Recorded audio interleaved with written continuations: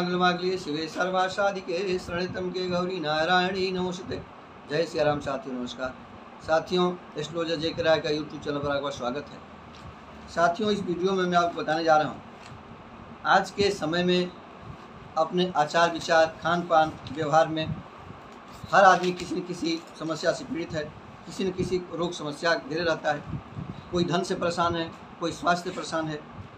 तो इन सभी समस्याओं का कैसे हम एक अच्छा उपाय निकालें, कैसे हम व्यवस्था करें, ये समस्याएँ हमारी दूर हो जाएँ और हमको सुख, शांति और समृद्धि प्राप्त होती रहे।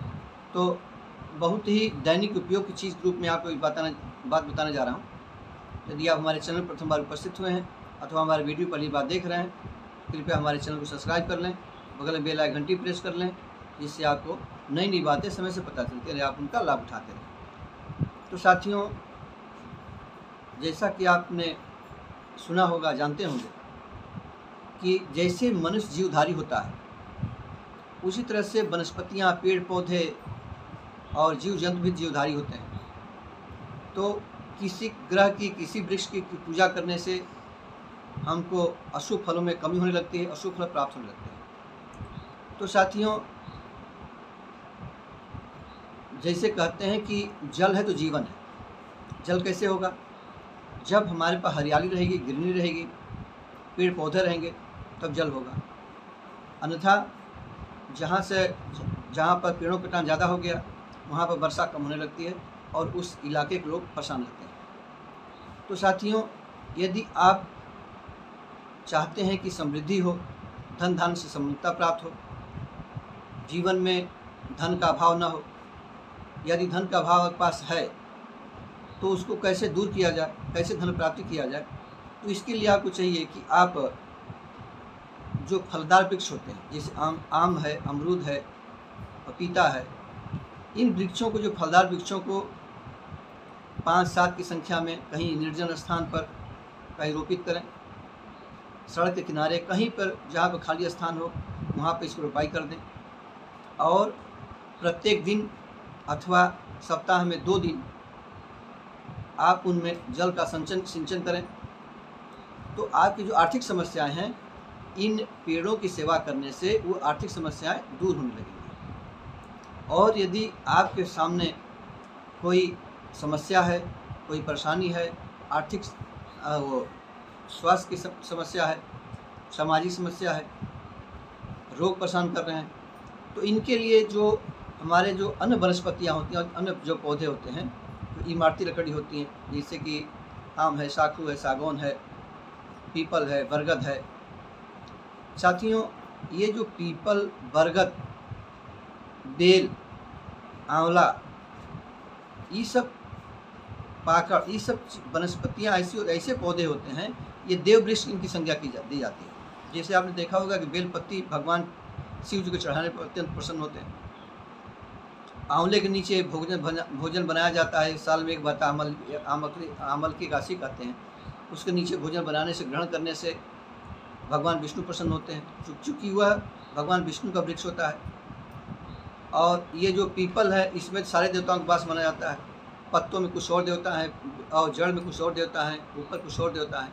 तो वो तो ब्रह्म प्रकृति के ये जो पौधे होते हैं, जो प्रदत्त हमारे मनुष्य को प्रकृति ने दिया है ये गुणों की भंडार है।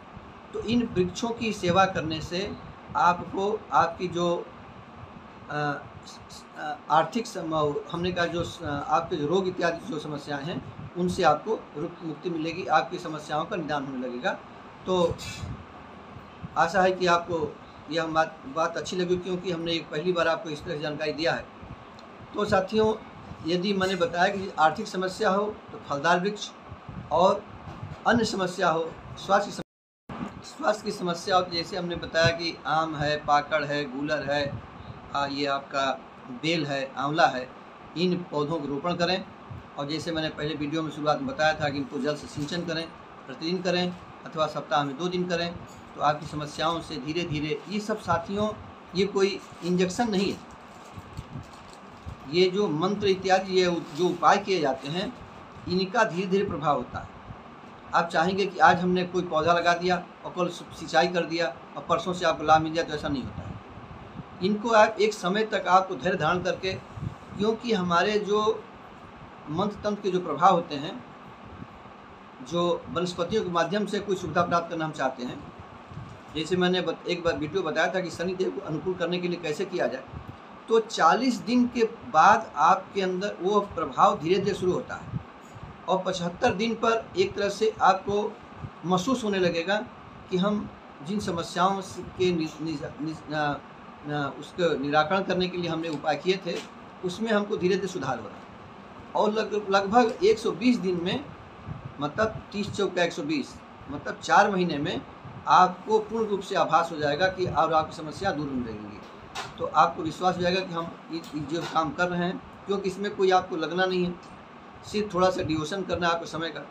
तो ऐसा आप करेंगे तो आपकी समस्या दूर होने लगेंगी आपको सम, आ, सुख शांति प्राप्त होने लगेगी। तो आशा है कि यह छोटी सी उपाय आपको अच्छी लगी होगी।